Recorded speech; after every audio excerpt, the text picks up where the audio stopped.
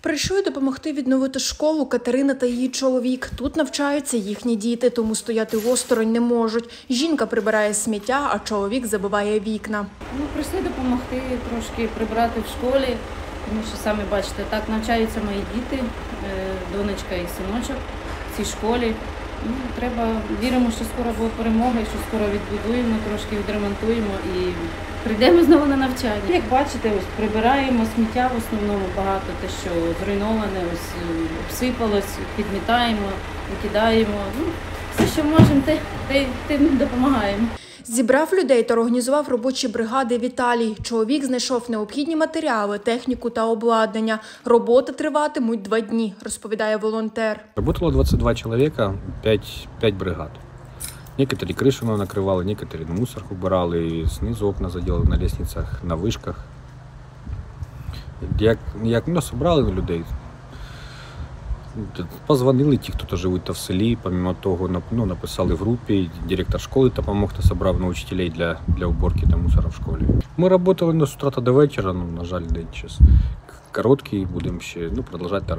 Школа, ну, школа это большая, очень много окон, очень много повреждений. Будем работать. Російські снаряди пошкодили дах освітнього закладу. Через це впали дві бетонні плити на другому поверсі. Також розбиті усі вікна. Прийшли допомогти відремонтувати будівлю вчителі, батьки учнів, випускники та жителі села, розповідає директорка Шевченківської школи. Після обстрілів е, рашистів дуже багато було пошкоджено в школі. Це і вікна, це і двері вхідні, пластикові, такі вхідні двоє дверей. Е, Це і е, дах школи також було дуже пошкоджено. Багато з тих, хто, хто залишився в селі, не стояв осторонь. Е, Всі прийшли нам сьогодні допомагати.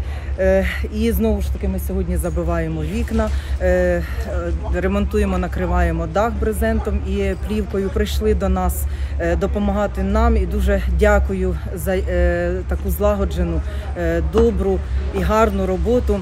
Нашим хлопцям, добровольцям, які прийшли сьогодні під керівництвом варяниці Віталія Вікторовича, Е, також дуже хочу подякувати батькам школи, е, випускникам школи, е, учням школи, які сьогодні також були, працівникам школи. До навчання в будівлі школи учні повернуться ще не скоро, так як село і досі під обстрілами армії Російської Федерації. Утім, забиті вікна та відремонтований дах допоможуть зберегти заклад від дощу та морозів. Зараз поки що в село ще ну і до школи ще рано, мабуть, повертатися. Але я маю надію, що скоро все ж таки е, ми повернемося у стіни рідної школи, і знову тут буде лунати дзвінкий сміх наших діток. Єлизавета Кротик, Суспільне новини, Миколаївщина.